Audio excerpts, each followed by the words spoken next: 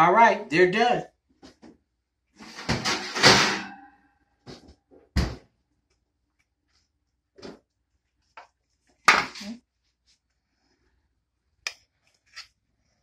I'm showing you what's in there. See? That's our cows in the blanket.